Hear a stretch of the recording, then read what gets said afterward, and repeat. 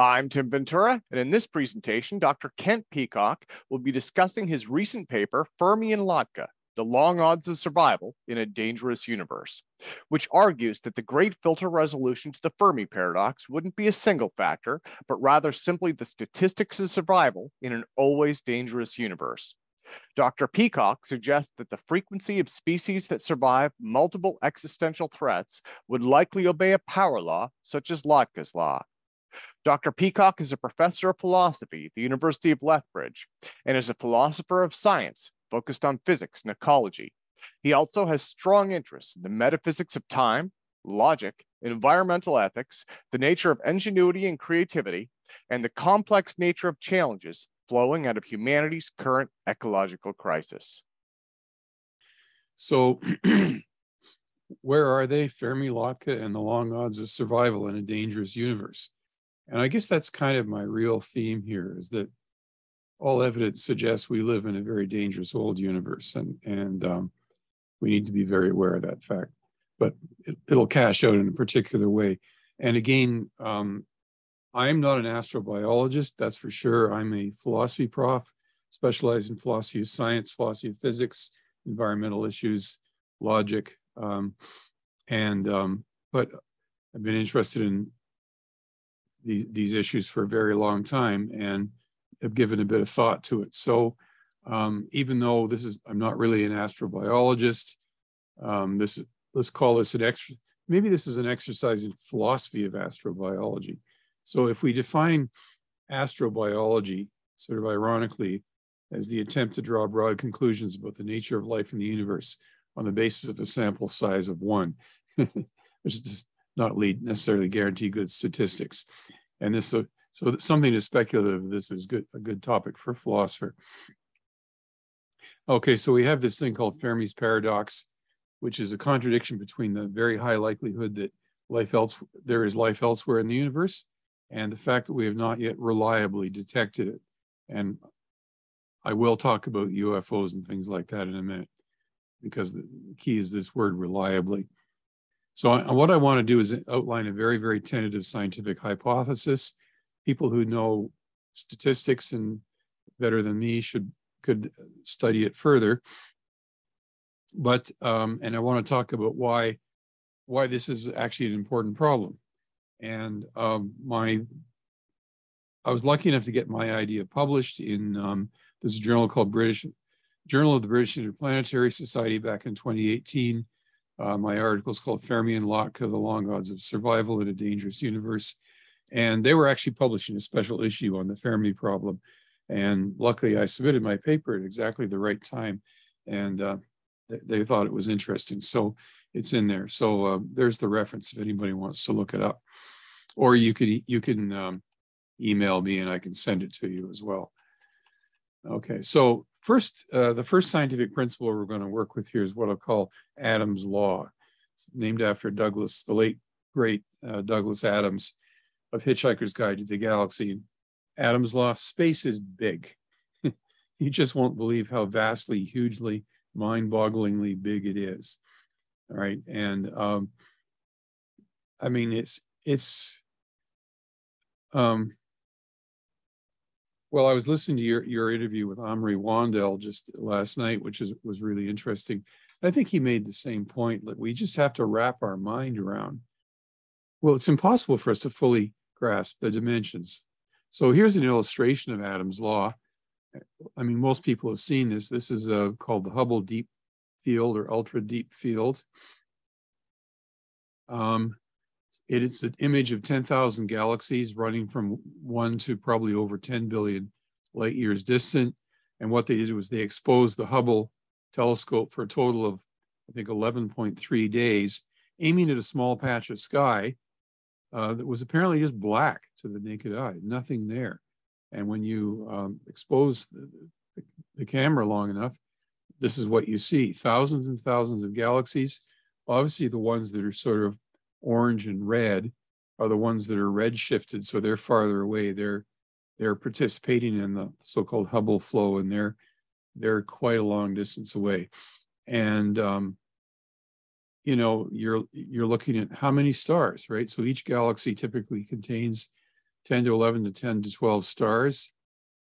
Current estimate that I've seen, there, there are roughly two, 2 trillion galaxies within the observable universe. And that's only the observable universe because with the expansion of the universe, there's a horizon beyond which we can't really see what's out there. So there could, there could be vastly more. And I've seen the comment um, that, oh, this is just wallpaper.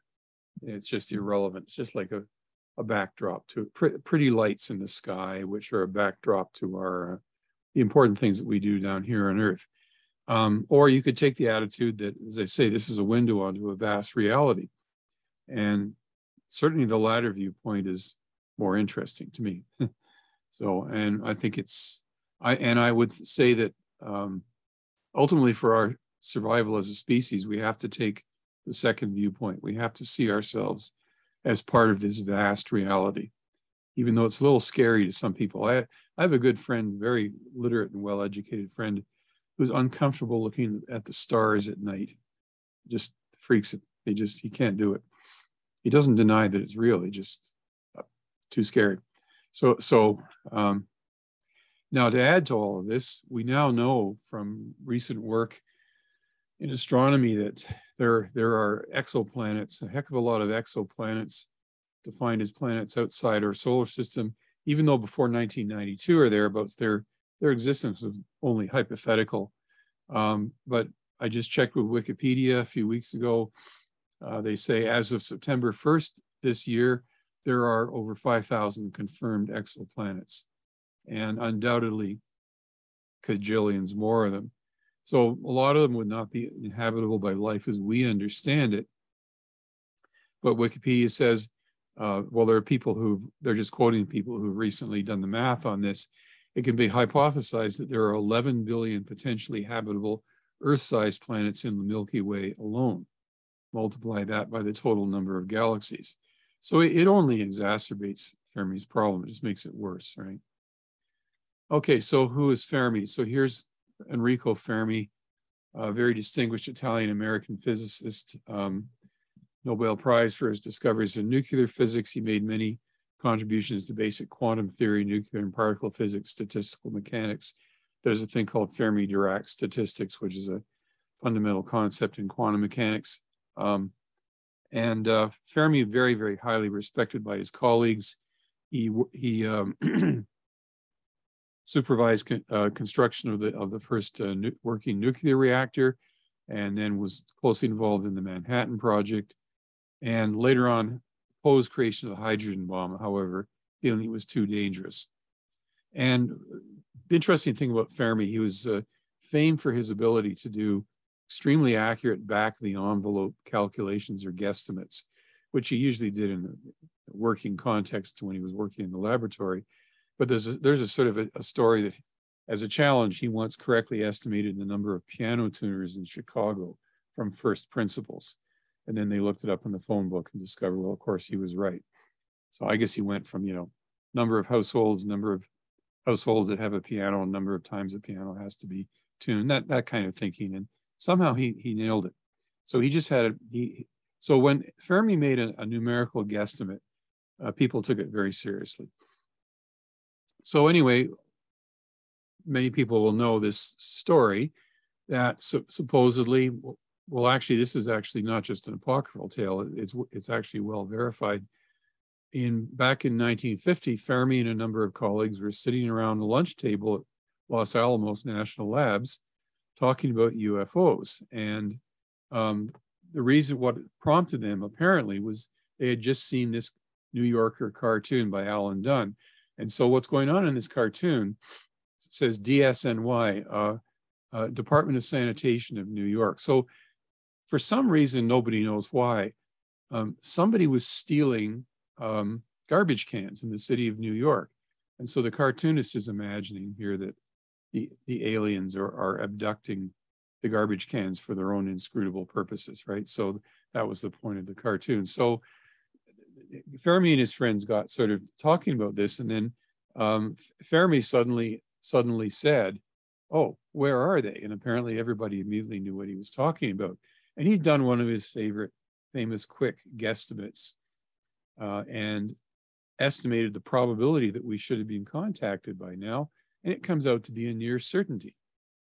And yet, at that point, they took it as obvious that there is no reliable evidence of alien intelligence. So that led to the question where are they? Now, Leo Szilard, uh, one of the group of brilliant Hungarian scientists and mathematicians at the time, said, well, they are among us, but disguised as Hungarians. So, um, but it's interesting to look into the historical background of this conversation. And there's an author named R.R. Uh, Martin who's got an article on this in the same issue on PJ uh, J-. Uh, so they know that this lunch party included Fermi himself, Edward Teller, Konopinski, and York. Um, these are all high-ranking atomic scientists, and definitely, certainly with especially Teller himself, who was in the in the thick of everything there, insiders at Los Alamos. So it raises the question of what did they really know? Because one of the one of the speculations that some people have explored is that um, by around 1950 or even earlier, Los Alamos may have had possession of crashed alien craft or even bodies.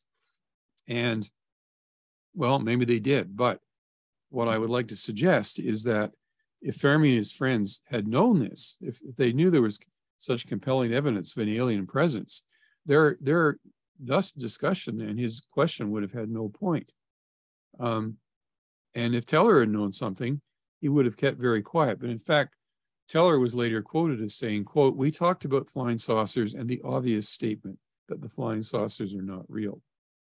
So um, if so I'm just guessing, this is just purely an uns unsubstantiated guess.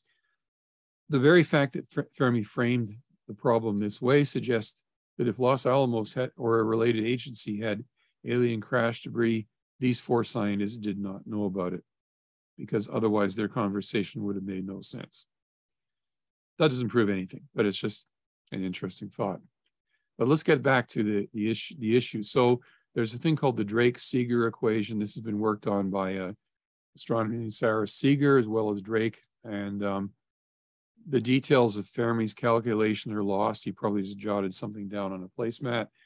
Um, but Frank Drake, and then more recently, uh, Canadian uh, born astrophysicist Sara Seager have further developed this. And, and the, everybody knows the essential idea is you, you just take into account the huge number of stars, the fact that there have been at least three generations of stars since the Big Bang, the probable number of Earth-like planets in our galaxy alone, and it seems hard to understand why they are not already here. And remember in 1950, uh, there was no confirmation of exoplanets. Some astronomers actually thought that planets might be extremely rare. And now we know planets are extremely common. So again, it only makes the problem worse. So, so um, here's Frank Drake himself, who recently passed away. Um, there's his famous Drake equation. Now, I'm not going to get too much into the particulars of the equation, but I just thought I should put it up here. And I think it's important to realize that I don't think Drake or anybody means this equation to be um, some kind of law of nature it's it's almost ba- it's just basically like a shopping list of the quantities we need to understand in order to answer Fermi's question. So um sorry, my camera's a little screwy there. So so um so so and and of course people are working on trying to come up with reasonable guesstimates. But as as um your uh, Amri Wandel said, some of these quantities vary by a factor of a billion uh, depending on your particular theory you explored. So this is extremely uncertain at this point. Um, again, n is supposed to be the number of civilizations in our galaxy that we should be able to communicate with. Okay, so now here's something that I, that, that I think gives us some guide. So consider the probability of advanced life versus microbes. So, so we say there's 11 billion roughly Earth-like planets just in our galaxy, if that's correct. Um, if our planet is typical, one would argue simple life might be common, but complex life is rare. And here's why. So on our planet, very simple life, as far as we know, appeared something over, it, very likely something over 3 billion years ago. Um, they're not sure of the exact figure, but there is there are biosignatures going back in, in rocks more than three billion years old. So basically, life appeared on our planet, a sense, almost as soon as the it had cooled down enough to allow for um, liquid water, and bang, all of a sudden you've got life. Now, whether it or originated on Earth by some process that we still don't fully understand, or whether it was seeded from outer space, the concept of panspermia. I mean, that, that's really an interesting concept. We just don't know. Uh, Fred Hoyle and, and Narlikar have advanced that idea. Um, it's not a stupid idea by any means, but we just don't know. It's a really interesting question. But we do know, okay, life appeared very, very early on the Earth. And we know that there are so-called bacteria um, or extremophiles, which can live in very extreme temperatures of, of temperature, radiation, salinity um, that would destroy complex life like us. So life, so very simple life can appear very quickly and it can survive very, very extreme conditions. And so whereas um, advanced life, such as J.S. Bach, is very recent. So Homo, Homo sapiens has existed for only about roughly, say, 10 to the minus four of the time that life has existed on Earth. And um, so it so so maybe if this is correct, lots and lots of planets might have at least start out with microbial life, but it's very hard for them to get to the point where you have high levels of neurological complexity, such as J.S. Bach, as an example. So um, then there's, uh, everybody knows about SETI, Search for Extraterrestrial Intelligence. Uh, this is the search for radio signals in what we might call reasonable portions of the spectrum. Basically, it's batting exactly zero so far, despite a lot of effort and then many, many signal scanned. Um, whereas our own radio emissions by now would have spread out about 100 light years or so. And it's kind of funny to think that 50 years, uh, you know, 50 to 60 light years away, um, if somebody could pick up our signals, they'd be seeing, you know, Ozzie and Harriet and leave it to Beaver out, out there somewhere. If, although my guess is a lot of those signals would attenu attenuated so much they're probably not detectable, but I'm not a radio engineer. But, but astronomers estimate our very best scopes could probably pick up signals from at least several hundred light years out if they were strong enough. So this leads to a, phrase that a number of people use, the great silence. Where are they? And, you know, we, we keep working on it and maybe there's bands of the spectrum that we haven't scanned yet and so forth. So this is still a work in progress, but so far it's disappointing. There's nothing. So with that, we have to talk about UFOs or UAPs. Now, this is a very large discussion, which I can't do justice to here. The professional community of astrobiologists, by and large, as far as I know, does not take them seriously. They hold that no reports of UFOs are reliable enough to be taken as conclusive evidence. And there's there's a recent book by Adam Frank, who is a real astrobiologist, who said, quote, Fermi's question was not aimed at UFOs. That topic was and continues to be a morass of weak reasoning, poor observations, fakery, and conspiracy theories. So it's just not a serious proposition as far as Adam Frank was concerned in 2018. Um, now, so what I did in, in my paper, I, I essentially took it just as a working hypothesis that, yeah, this is right. There's no reliable evidence. That doesn't mean there's no evidence, but there's no evidence that everybody can yet agree on. And I'm very, very well aware that this could be wrong. You know, I follow UFOs, I follow you the, whole discussion, and uh, I know about the intelligence report that came out uh, in 2021. Um, I get that.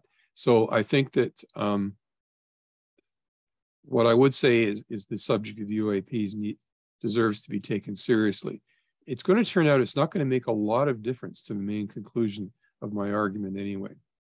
But there's a question when you talk about th this, there's a there's a question of what I'm going to call burden of proof.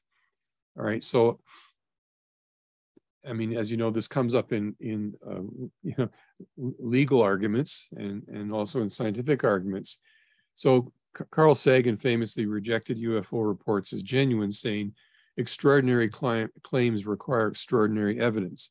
So he wanted to set the bar very, very high for um, claims of UFO sightings. But one can ask, is there not an element of circularity in this reasoning? So suppose somebody says, you could not have seen an alien spacecraft because there are no such things. Well, well, why do you think there are no such things? Well, because there's no good evidence. So you, you you've you're reasoning, you're, you're at risk of reasoning in a circle here.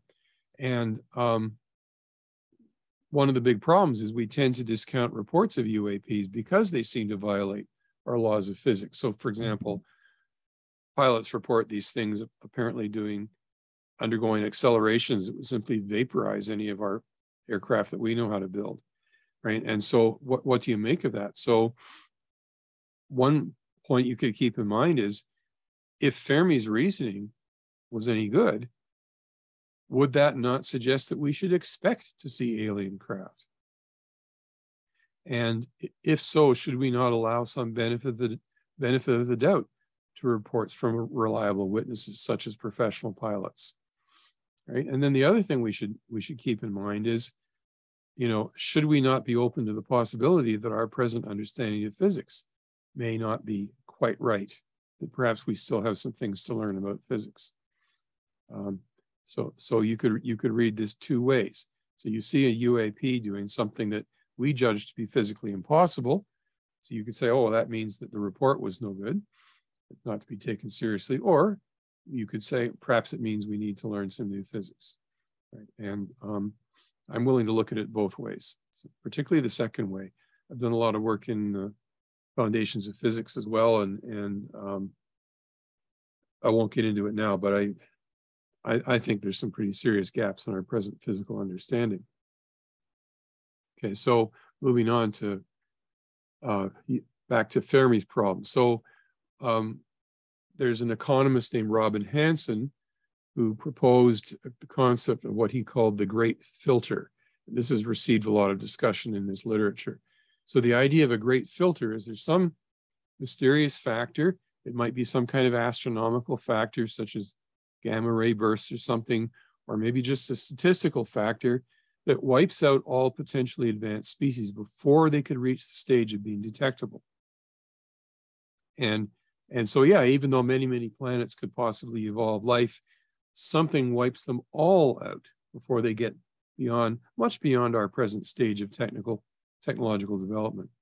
And so Hanson and Bostrom have argued that if we, if we were to find evidence of ETs now, say we found, I don't know, a crashed spaceship on the backside of the moon or something, if we found evidence of ETs now, that would be very worrisome because it would be evidence that the great filter has not yet finished acting and we should be more worried because if we found no evidence of ETs anywhere, no signals, no debris, no nothing, um, then and, and yet we're still we still exist.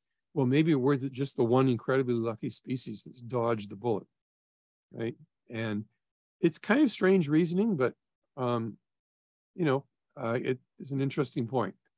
So, thinking about what what a, what a great filter could be, um, and some other reading I was doing led me to, to, to suggest that the great filter, if there is a great filter, is some is what's called Lotka's law, and uh, which is something that never ceases to operate. So now I'm going to try and explain to you what I mean by Lotka's law. So, okay, so Alfred J. Lotka um, was a distinguished American mathematical biologist, uh, made important contributions to the theory of population dynamics and evolution so if you study um, quantitative uh, population ecology, there's things called the Lotka-Volterra equations that describe the sort of give and take between predators and preys, prey. Um, and back in 1926, Lotka amused himself by doing a study of the statistics of scientific publication. so back in those days, there are no computer databases, of course, so he had to look through, but there were published paper databases of subjects like chemistry and biology, physics, and you know who was publishing what. And Lotka patiently winnowed through these databases and compiled the statistics. And what he found, interestingly, is that there's an inverse relation between the number of papers published and the number of people publishing them. So a very small number of scientists are publishing most of the papers. So you get a few extraordinarily productive, let's say chemists, who are publishing three, four, 500 papers in their career, a whole bunch of chemists who publish one or two papers, a whole bunch of chemists who publish nothing in their career. And um, so when you compile this into a curve, you, you get this famous Lotka curve or the Lotka plot, which is basically a hyperbola. It looks like this. And just by playing with the numbers, he showed it, it approximately obeys an equation, x to the alpha f of n equals c. So n is the number of publications. Um, f is the frequency or percentage of authors with n publications. And alpha is an empirical constant roughly equal to two. And C, don't worry about C, it's just a normalization content concept. But the important point is f of n goes as one over alpha, right? So um, as uh, n is higher, alpha, f of n drops very, very quickly in this kind of, so again, lots and lots of people are publishing one or two papers. Very, very few people are, are publishing um, um, 10 or more papers. And this curve just keeps on going. It's very important to realize this is, this is not, a, again, uh, not a scientific law. It's a, it's a description of the statistics. And um, the this so-called power law behavior seems to be um, a very, very wide occurrence in nature. It's a property of so-called complex systems. So very smart people like Per Bak have studied it. Other mathematicians and physicists have studied this. Um, I've looked into some of the literature, some of it's beyond me mathematically, but the sense I can pick up is that there is, still is not really I would say, a completely satisfactory understanding of why some physical systems and biological systems obey th th these kinds of power laws.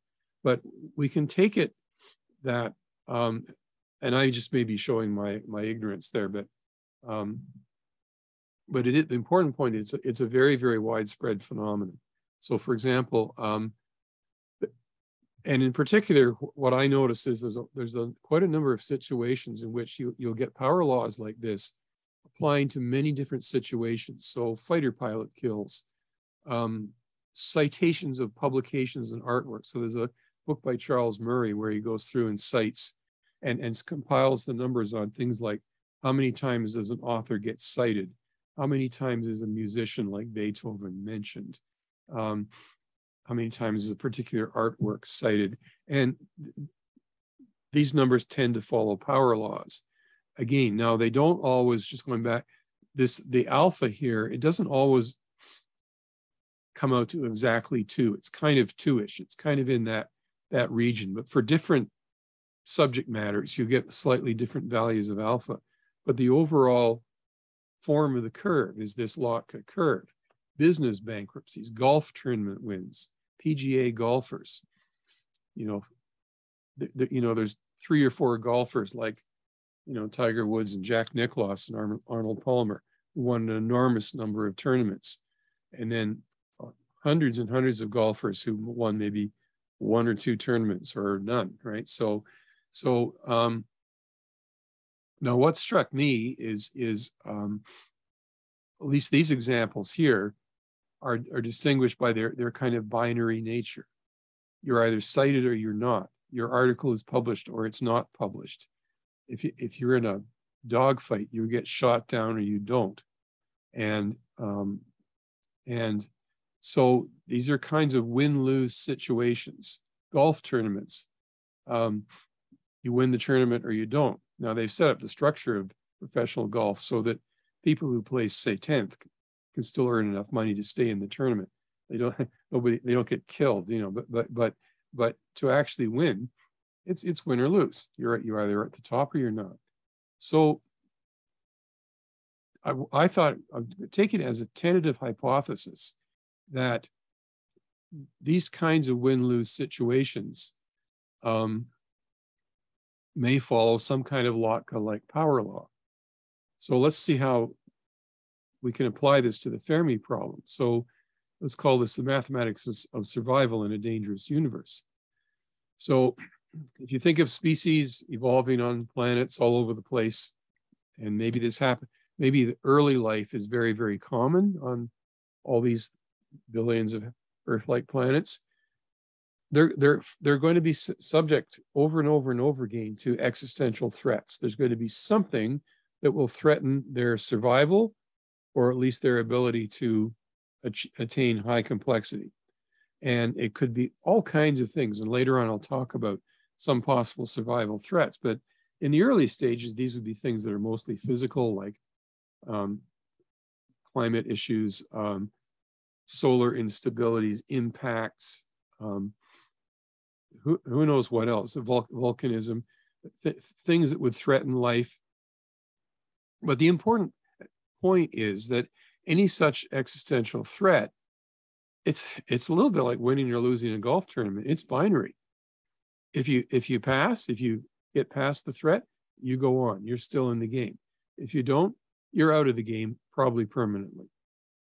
Right. So my suggestion was that that if you look at many many species arising on many many many worlds, that overall the statistics of long-term survival of existential threats would look like a power law.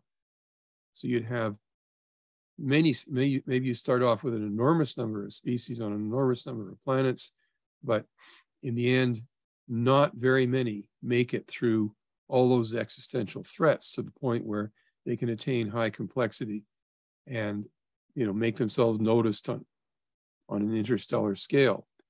So um, there would be if Lotka's law or, or any kind of power law applies, very, very few players would make it through. So, um, so we would be, it would be very, the probability of advanced, say, life, say, capable of, you know, Bach-like complexity or higher, um, that probably might be very, very small, even if a life arises on many, many worlds.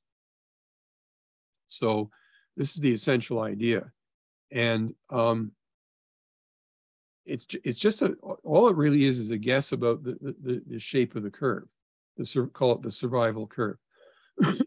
I, I haven't made any attempt to guess the number of crises that a species could be expected to face, or how often they would occur.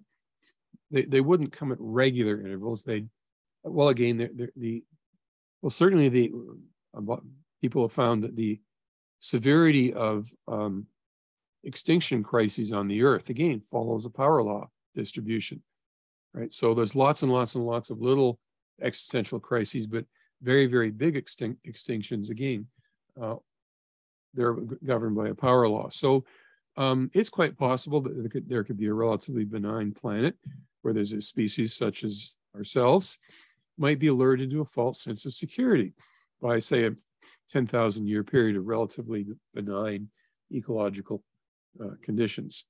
And um, you know, some people think that's exactly what we where we are now. We've gone through a period called the Holocene, roughly 10,000 years in length, which you know it's had some bad weather to be sure, but compared to the previous few hundred thousand years, uh, it was very, very stable and benign.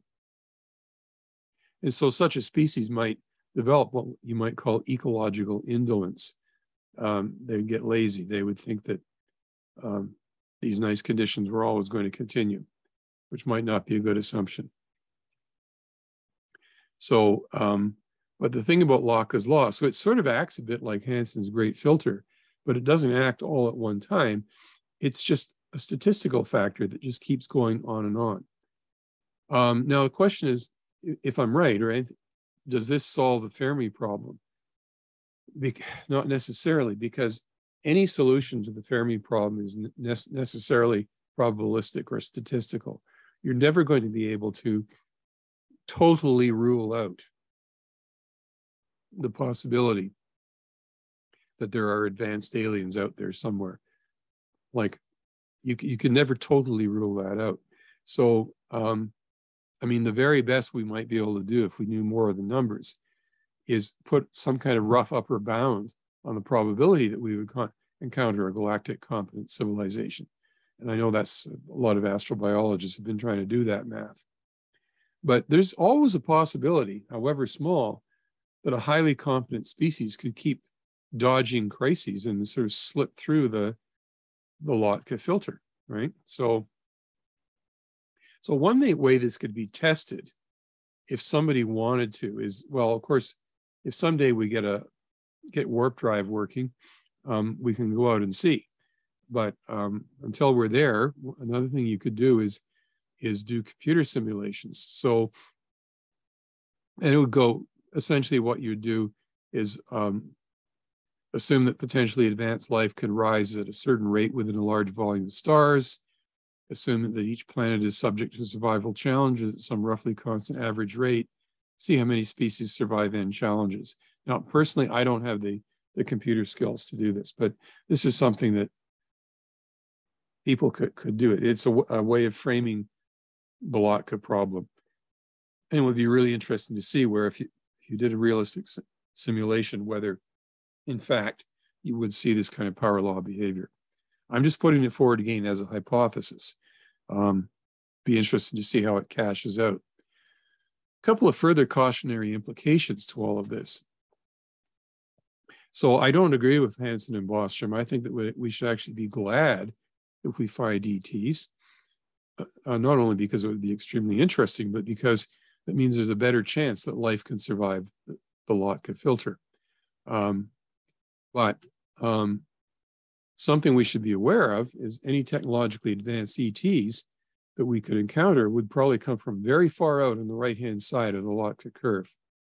They would have been, they would have formidable survival capabilities. They would have had to they have to be pretty tough dudes, right? So even if they have no hostile intentions towards us, um, they should be treated with the greatest caution and respect. So in particular, Air Force pilots should probably not lob Sidewinder missiles at the first UAP they see. Just a suggestion. Okay. Okay, so may, now another sort of footnote to this story is maybe there's something you could call a threshold of competence in the universe. So, so maybe if a species, assuming it would be very important that the species is capable of learning, right? But the longer it survives, the greater its probability of further survival. So, so I mean, you can see this in things like going back to the golf example. See, the golf example is is relevant in a way because it's simple win or lose, uh, you know, success in professional golf is something that is an individual matter. It's not a team sport. And, and so you can sort of isolate player by player and see how well they do. And, and, um, and we know that some, some young players, as they learn, they get better with time. And, um, you know, they, once they get onto the Lotka curve into a good, they, have, they sort of increase their probability of staying on it, right? So maybe there's a threshold of competence I mean, just to use the golf example again, let's let's imagine Tiger Woods in his prime uh, was um, playing a tournament on a very easy par three course, right? He's probably going to run the table, so to speak. It's going to be too easy for him. It will not pose a significant challenge. I mean, yeah, he might flub the occasional shot, but he's going to do really, really well. And and so maybe we just don't know. We simply don't know. But maybe it's the case that sufficiently technologically and intelligent, advanced and intelligent species would not find significant survival challenges in our universe. We just don't know. So this would almost be like a sort of inverse of the great filter, but we can only speculate as to whether this might occur. But I think we should keep it as a possibility. Um, so, um, I mean, certainly one thing uh, is point that a lot of people have made. Uh, Robert Heinlein made this point that a species that develops the ability to spread itself to other planets would, all things being equal, have a greater chance of long-term survival. Probably. That seems reasonable, but again, we don't know for sure. Now, one thing that a lot of people have talked about is so-called von Neumann machines. So uh, John von Neumann was a brilliant Hungarian-born, um, uh, one of those Hungarians, again, mathematician, who made very important contributions to quantum mechanics, uh, computer science, the development of the nuclear bombs and all kinds of things. Extremely, extremely brilliant mathematician. And at one point, and, and the speculation, so von Neumann machine means um, it's a it's a self-replicating automaton that spreads virus-like from planet to planet. So it, it gets launched, so somebody creates it, but it contains programming and pro somehow appropriate hardware that it can land on a distant planet and harvest materials from that planet just just like a virus and replicate itself and in principle one would think it ought to be able to spread itself spread itself exponentially. I mean even even if it spread but was limited by the speed of light. And we ought to have detected them by now. So this so some people have framed the fermi problem this way. Why don't we see von neumann machines? And um, my own suggestion here is to, to, to, first of all just ask a general sort of question: uh, Are are computers really all that reliable? Um, you know, could we could we make a computer that would go on and be able to replicate itself indefinitely and spread through the whole universe without any errors or breakdowns? And um, it would have to have amazingly good error correction uh, in its in its um, system. Um, but but what I think is more important is that okay, fine. Let's say somebody makes von Neumann machines and sends them off. Um, they're going to be subject to the same existential challenges that biological life would be subject to. They're going to face uh, existential threats of all sorts, who knows what. And I think that they would be subject to the same power law constraints of their spread. So yeah, they're, they're and they might even, just as viruses do, they might be able occasionally to um, spread, you know, for a while and be successful, but take over the whole universe, um, it just seems unlikely. And in particular, obviously, if they invaded a planet al already occupied by advanced life, um, it would maybe not take kindly to uh, to them. And uh, oh, so the von Neumann machine says, "Oh, we, we're just coming along and don't mind us. We're just going to eat your planet, right? And somebody might object to that. So, so again, this is something where more simulation could be helpful. Um, I, but I would conjecture that von Neumann machines would be subject to the same sort of power law limitations on long-term survival that that ordinary biological organisms would, would face. It, it's the same problem. So I'm not worried by the fact that we haven't seen von Neumann machines yet. Um, now, it's, it's worth sort of going over a list of possible existential threats to a species like us. And again, we're being a bit anthropocentric here, because of course we know life may take very different forms, but still, it's worth thinking about this. So, so we could list possible astronomical threats. There could be a solar excursion. I mean, our star, fortunately for us, is very stable. That's good. Astronomers know that some stars out there are not stable. And um, they, they sometimes have mass ejections or flares that could basically sterilize all their planets. Um, impacts, of course, the very real problem, very real danger. Um, if you're too close to a supernova when it goes off, that could sterilize your planet. Um, gamma ray bursts. So, some astronomers think that gamma ray bursts are a very significant survival threat in the universe. Um, or again, maybe just something we just don't know about yet. I mean, we have a lot to learn about astronomy too. Maybe some other threat out that we just don't know about. Then there's terrestrial tectonic threats. So natural climate change, the climate system is a complex system. It's subject to um, uh, extreme excursions on rare occasions that we don't fully understand yet. Um, there might be various nonlinearities in oceanic or atmospheric dynamics. We know that massive volcanism can cause, it's implied in several of the major uh, mass extinctions of the past. Um, and again, there might be something else that we just don't know about at the terrestrial level. But the ones that are really interesting to talk about are the self-inflicted threats. Like if the sun blows up tomorrow, there's nothing we can do about it. But we can do something about the self-inflicted survival threats. So, of course, there's various versions of ecocide. Um, fouling our own nest, climate change, um, degradation of our supporting ecosystems due to climate change, loss of biodiversity, loss of topsoil, deforestation, exhaustion of fisheries, and so forth. Um,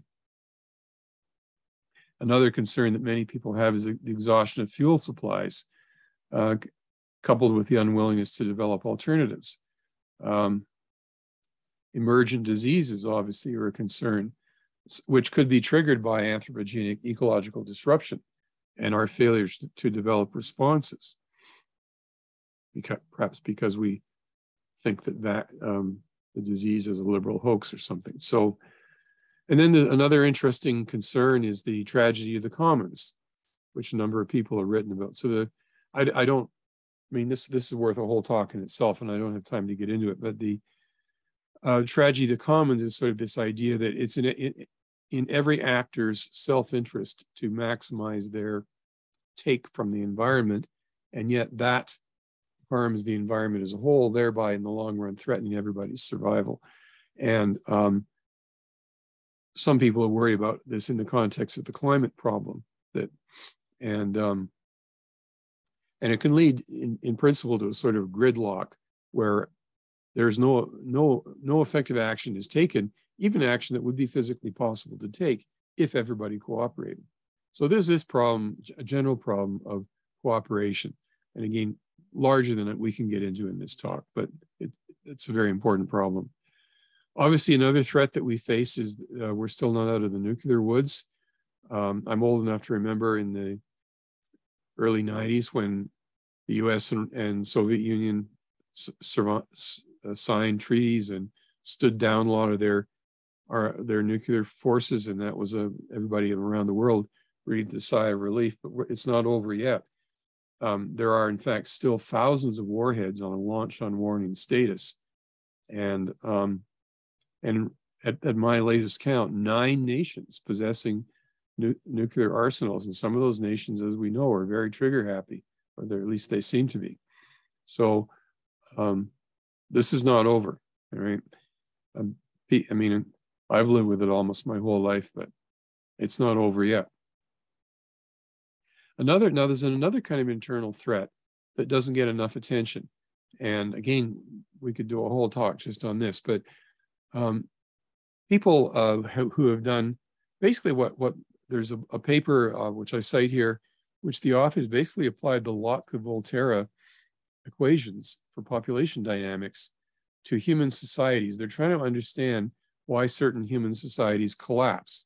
And there's a whole literature on this uh, question of societal collapse. And the most important book in this being John Tainter's Collapse of Complex Societies.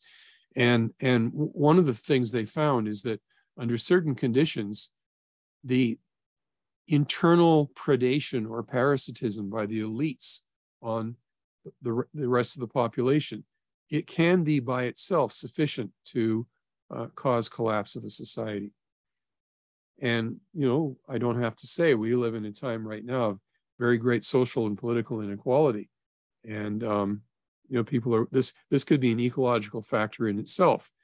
So, so um, one of the things I work, think about in my own research on sustainability is that it may, it may well be the case that a certain level of socioeconomic equity is actually a survival requirement for a complex culture, at least one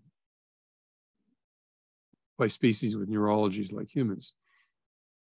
Anyway, the very large discussion. And then uh, just one last existential threat I wanted to mention, just because it's quite interesting. So um, this is Arthur C. Clarke. Um, at age 90, I think it was probably his last interview, Clarke was asked, what is the greatest threat that we as a race are facing? And uh, you, you'd think he might have mentioned, you know, nuclear war or climate change or resource depletion or something like that. But what he actually said was organized religion polluting our mind as, as it pretends to deliver morality and spiritual salvation. It's spreading the most malevolent mind virus of all.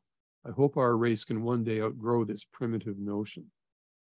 Okay, so I'll just leave that there for your consideration and and, um, and uh, we'll move on. But an interesting thought from um, a person who had thought a great deal about things like human destiny.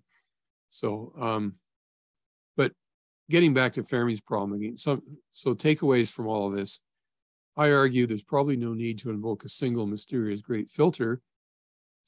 The, the, it's just a dangerous universe. The universe is rife with existential threats, and Lotka guarantees that only a few candidate species will survive enough of these win-lose challenges to be noticeable on the galactic scale. And it's actually not out of the question that no species, no matter how promising, uh, gets to be much more advanced than we are now. I mean, again, we just don't know. Um, as I say, personally, I doubt this because of Adam's law. I mean, there's just a heck of a lot of room out there. And I think there's room out there to allow someone to have beaten the, the long odds, but they might be very, very far away. Very, very far away.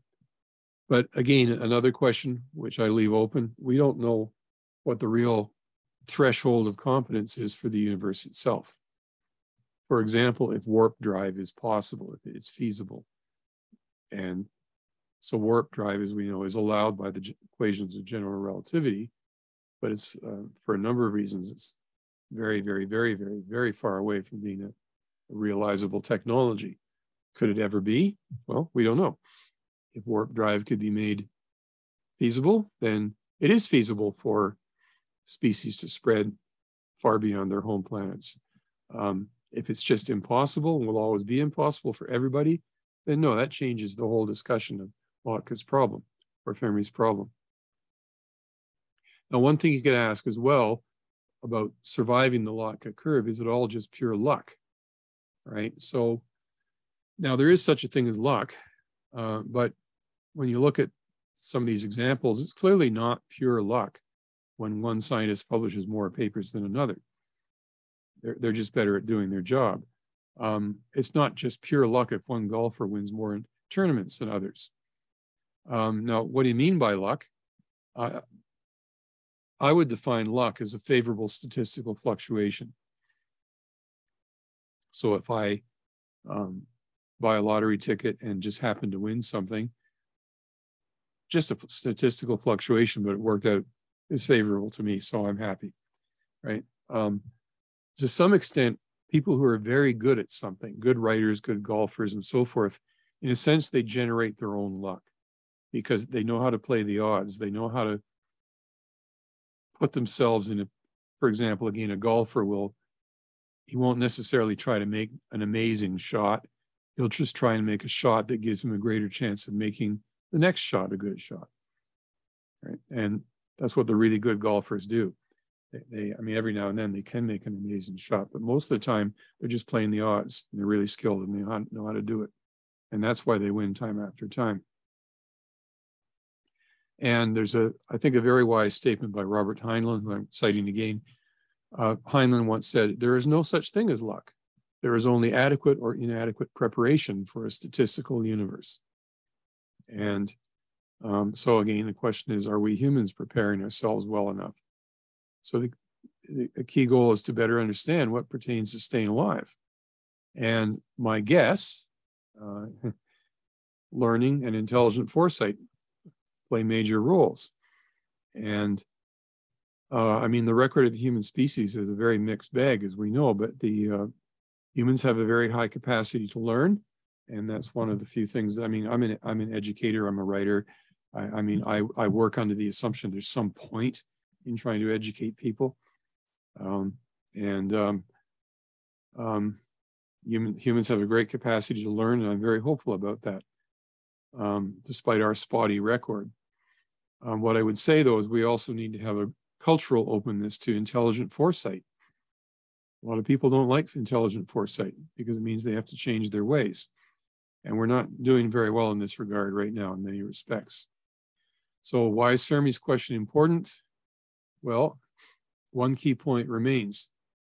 There is a contradiction between observed facts and apparently reasonable assumptions, which shows there's still something very important that we not we do not understand about how the universe works. And I think this is the real thing. I mean, getting back to UAPs, for example, quite a number of people talk about UAPs as security threats, or they're flying into our military airspace, where they they might bump into an aircraft or something like that. That's not the real security threat.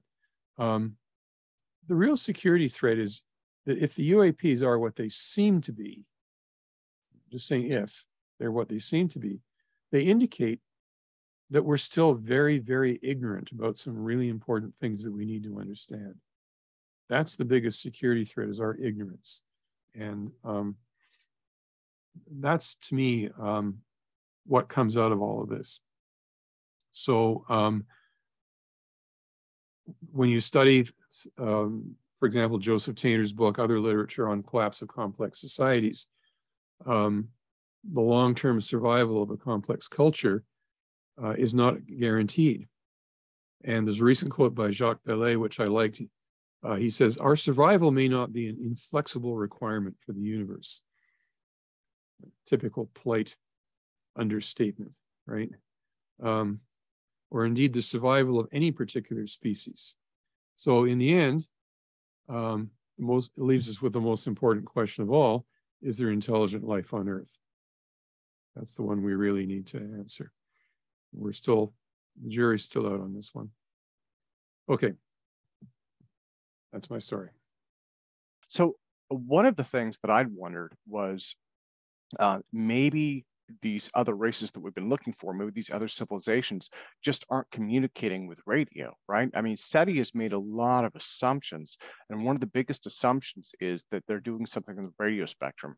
And you and I discussed this with uh, like quantum communications, mm-hmm. right? It, so I, it seems to me that it's it's possible, I guess, that there are better, more advanced ways to communicate that aren't as lossy, um, that may be instantaneous in nature. You know, that there may sure. be many different advantages. Or tight beam laser could be another example, and that's that's yeah. well within our technological capability right now.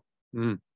So maybe we're looking for radio signals, and the communications are out there. They're just not on the radio spectrum. Yeah, it's just too primitive. They don't they don't use it anymore any more than you would try to use smoke signals to communicate with I don't know London, England. yeah, exactly. Not going to be very very effective, right? So so so um, um, yeah, no, I, I think I think I, I think we have to be very open to those possibilities. That it's just, and you see that gets us back to the the point that let's not be too sure that we we know all the laws of physics. Um, I mean, I recently read a book by Sean Carroll called The Big Picture, which is a really interesting book. You can learn a lot from it, but he basically says, well, you know, apart from a few little technical puzzles, we basically have it all figured out. And I'm sorry, but I think that's nonsense. I mean, it's it's just um well we, we yeah but, i mean we don't know nothing all right we that, i'm not saying that we don't know nothing but but but um to say that we have it all figured out and and no no yeah so willingness to learn yeah yeah, it reminds me of the that goal to shut down the patent office, right, in the United States at the hmm. turn of the 20th century. You know, yeah. they said, "Well, we've invented everything that you could possibly need. Yeah. We can just close it down now." Yeah, so. save a little money, you know, and get, close the patent office. Yeah, that, that yeah. So, yeah, I mean, people sometimes suffer just from lack of imagination. Um, there's a famous uh, quote by J.S. Bell of Bell's theorem. He said, what is usually shown by impossibility proofs is a lack of imagination. And um, now I, I just think we should be not scared to stretch our imaginations and, and you know, oh, yeah, yeah. Look well, at the possibilities. I appreciate your mentioning the UAP phenomena so much, you know, and I, I think I I probably fall into the the generally average camp on this. I, I feel like something is going on. I'm not sure what, and I would say probably yeah. the majority of people are are probably right about there now. Mm-hmm. You know, probably where I am too. I mean, yeah, I've been following UFOs since I was like 11 years old. I mean, I, I remember reading the books of George Adamski. I don't know if you've heard of George Adamski. Uh, but look, I was 11. Okay, give me, you know, cut me a little slack here. But I, I, I, I, I thought, oh, this is really cool. And then later on, I realized, no, it's rubbish. But, but, and I, but, but you know, the, it's the borderline cases. The cases like, for example, all, all kinds of reports from professional airline pilots and military pilots who are seeing things that, I mean, these people are not fools. You know, they're, they're, they're, and they're, they're telling the truth. They're telling what they saw, and, and so what is it? I, I think that's an extremely important question. And um, you know, yeah. Um, well, and and uh, I so I believe it's called the zoo hypothesis. I could be mistaken, but that's yeah. the, you know, the if I remember correctly, and it's been a long time, um, you know, maybe UAPs are visiting to analyze, but they're not interacting with us on purpose. They're letting yeah. us develop the best of our abilities. Yep. You know. Yep, that's one hypothesis. Uh, it's it's it's on the list of possibilities. Um, I think it risks the problem of attributing human style motivations to aliens, and the aliens might have incredibly different motivations than we have. And um, they may be playing an entirely different game.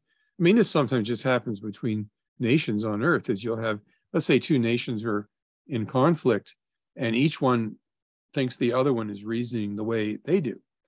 And that can lead to some pretty serious problems. So, so, so, um, you know, I wouldn't rule out the zoo hypothesis, but um, I just say maybe we just don't know. We don't have enough to go on. We just need to know more. And um, yeah, so yeah, I no, mean, it is the Fermi paradox is it's incredibly intriguing. It is incredibly intriguing, yeah. and, and I, I, and again, just as from a layperson's view, the the thing that I wonder is, you know, especially when it comes to SETI, I wonder if they're not.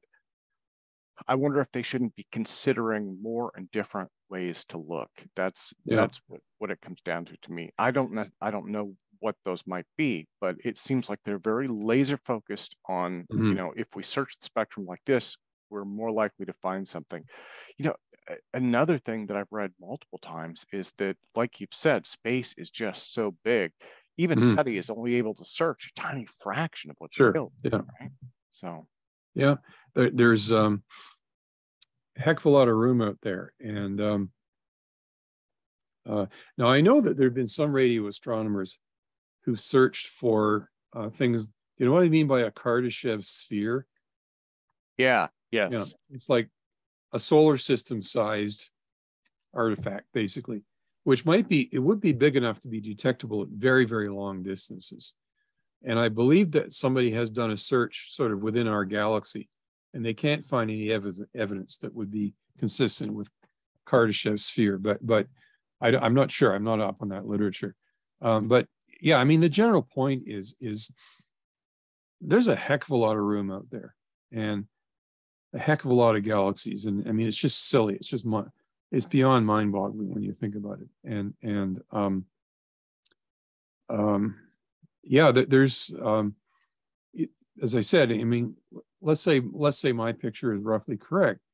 There might be very advanced cultures, but they could be in the next galaxy or something. They might be really far away, and and um, even if even if they have warp drive or something, they why would they visit us? It's as um, you know, Amri uh, Wandel said, why would they come here? We're just a little backwater. We're a little, a little coral reef way out in the middle of nowhere, and and they've got lots of other interesting places to to examine, and you know, but but um,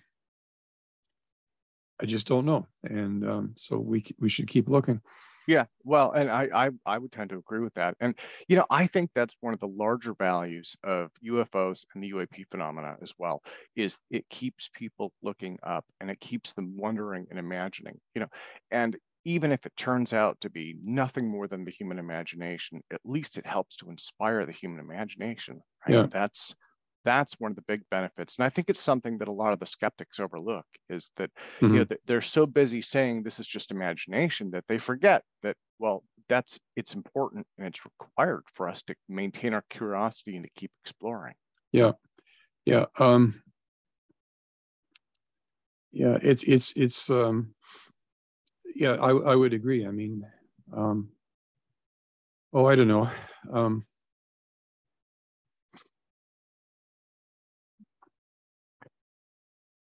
it's one can be too skeptical. I mean, there, there's, uh, I mean, within the field of philosophy, there's a long literature about skepticism, mm. and um, going all the way back to the ancient Greeks. And there's some very good comments by 18th century philosopher named David Hume, who is regarded as a skeptic. He was a skeptic. Um, so he doubted our ordinary senses. He doubted conventional beliefs of all sorts. But he, um, but he made the point that you can't, if you go to complete skepticism or what he called Pyrrhonic skepticism, it, it, it basically leads to paralysis.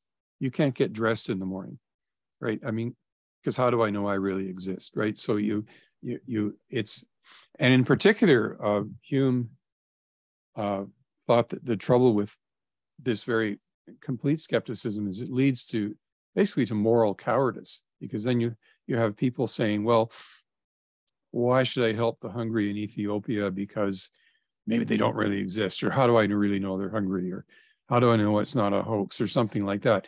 And and and so so what Hume argued for was what he called mitigated skepticism that to get by in the real world, you have to have levels of doubt and acceptance based yeah. on evidence.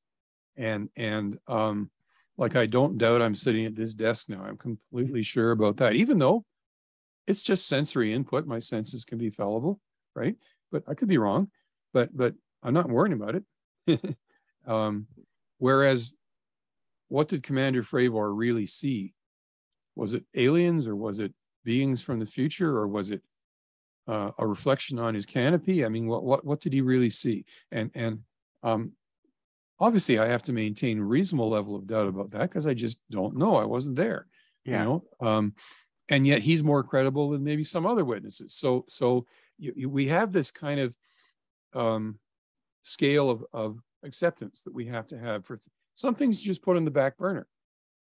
I mean, I, for example, I've I read the books about the Skinwalker Ranch really cool stuff, really interesting, kind of scary if it's real, but I just don't know what to think. So I don't reject it, but I don't accept it either. I put it on the back burner and say, hopefully I'll get to that someday and hopefully I'll know more. Yeah, no, that, that makes complete sense. Yeah. Well, and that's an area, and this is kind of off the topic of the Fermi paradox, but that's an area that I'd like to do more investigation into is actually mass hysteria right? Eh, because I think that that's not something that's been explored enough, and I don't think it's it's been publicized enough. And I right. think that there's a lot more there, you know. And I think for for people who are, I, I guess you'd say, um, you know, devout UFO believers, that would probably antagonize them. But I I mm. definitely think that mass hysteria is a component of this, right? If nothing else, they say that something like 99% of all UFO reports are are fake. Well, it would be interesting to explore the psychological factors behind that. And I think if we mm-hmm. can understand ourselves better more, then ultimately we'll be able to understand all these phenomena better as well. So yeah, I don't, I haven't read a lot about the issue of mass uh, hysteria. I, I, and I'm not even sure that anybody knows what that means. Um, you could probably find somebody out there who would be far more expert on it than I would. But uh, what I have thought about a bit is is what you might call mass denial. Okay, so think of climate problems, think of vaccines, think of COVID, where where um, the approach of some people is just say, well, it's not happening. You know, that's that's how I deal with it. It's just not happening. It's not real, and and um, obviously that is very uh, counterproductive attitude when you when because these problems are real, and if if you just pretend they're not, uh, you're going to be sorry, right? So, so, um, um, but uh, yeah, I mean, I mean, one uh, going back to UAPs. I mean, one of the obviously one of the narratives around that is that, um, well, uh, the secret government insiders are afraid that if we let out the truth about the aliens, I mean, then then there'll be mass hysteria or something, and um, I personally don't think that's the case myself. I, I people get used to stuff pretty quickly, you know, and um, and you know, I, I, I they, you know, they, you'd probably just end up with some aliens being interviewed on Oprah or something. It would just, you know, uh, it would just become something that that um, well, it's weird, but yeah. it's part of life. And yeah. people would get most people just get on with their business because they're too busy you know the the biggest I, lives, right?